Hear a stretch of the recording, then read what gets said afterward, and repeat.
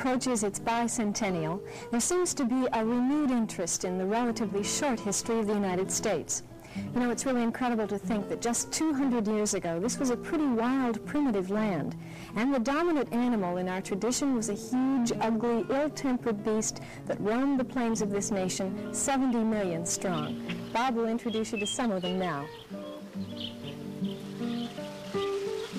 These are American bison, commonly called buffalo. They're just about obsolete now. It's difficult to even find one on the back of a nickel. At one time, this animal was a vital part of our culture. The Indians hunted the buffalo both for food and for hides to make clothing. Then, in one of the less glorious chapters in America's past, both the Indians and the buffaloes were nearly exterminated to make way for progress.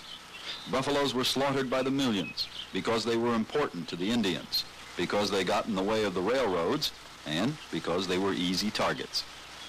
By the turn of the century, there were only a few hundred buffaloes left in this country. Then finally, some sensible people got together and saved the animal from complete extinction by passing some hunting laws and providing a few places where the buffaloes had some chance to multiply. Now, there are perhaps 33,000 of these animals in the United States. The government protects some of them, and private individuals are beginning to breed them.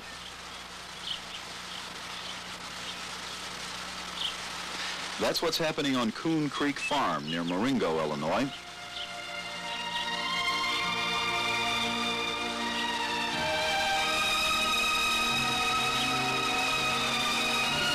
The farm belongs to John and Lynn Banghart, and we went out there to find out more about it.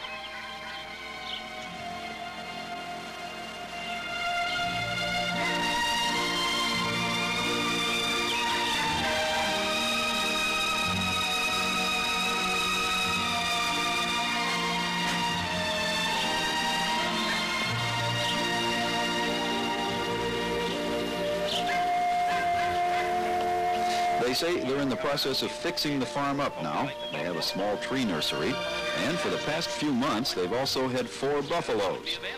The idea is to raise and breed buffaloes here, and it's kind of a group project. A man named George Reed runs the neighboring farm. His two sons, Marvin and Paul, got interested in raising buffaloes as a project for their future Farmers of America activities. They wanted to work with an unusual breed of livestock, so they started collecting information about buffaloes.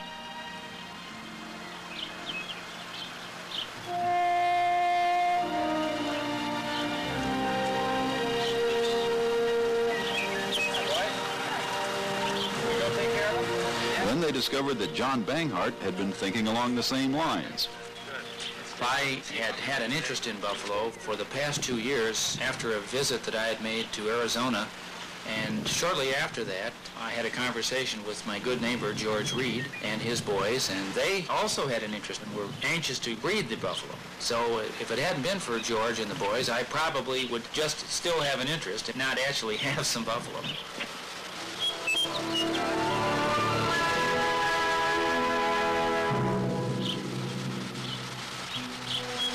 But now we have what is the makings of an excellent herd over a period of time. We have a lot of interest between us as neighbors, and I think this can only be a very beneficial and productive thing for all of us. Both Marvin and Paul have worked hard and saved money to be able to invest in this project. And that while their father and I have had the privilege of working with them and participating, the two boys have made a sincere effort to contribute, and I think that's a credit to them. Our buffalo here are 17 months old. There are already two kinds of American bison, one known as the southern bison and one known as the northern bison. And you could not distinguish them to any great degree except that the southern buffalo tends to be a little bit smaller and a little bit lighter in color. The buffalo we have here are a rather dark brown color, and they are northern buffalo.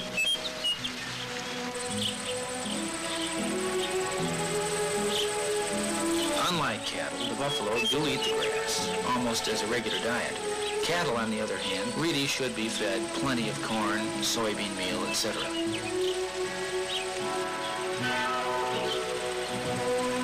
What we do as far as feeding uh, is provide them with a good grass pasture area, and they will incidentally forage for feed uh, throughout winter. And then to get them to be more at ease with us, because they are a wild animal, we give them a small amount of oats each day. Over and above that, we provide them with a salt lick, which uh, is good for their general diet, and also a protein block, which contains minerals, vitamins, and protein, which is, of course, essential to growth. We're naturally concerned with the breeding stock as such. We hope to have calves a year from spring. Also, we are interested in having good meat available. So this is more or less what we try to do as far as a diet for them. But nature has provided them with just the need really for good grass, something that was, of course, very common to the United States in the early days. I think we should make every effort to continue to preserve the buffalo as part of America. And it's through young fellows like Paul and Marvin that this is possible. If it hadn't been for the private individuals who were willing to establish small buffalo herds, I don't believe that the government could have done the job that is being done today. It's certainly my hope that we can increase the size of our herd to 10 or 12 animals. I personally have just had a great thrill out of these animals. I get an exciting feeling looking at them because I think they're a wonderful part of this country. I think it's something that should be maintained for as long as we're here. You know, there is so much waste pasture land that farmers do not use these days. If every young farm boy had an interest in something like the buffalo and had two or three animals which they could tend in these waste areas, just think how much it would ease the meat situation. So it's a native thing to this country. It's a natural thing to this country. And we hope that we can do our part to keep that buffalo name in front of the public.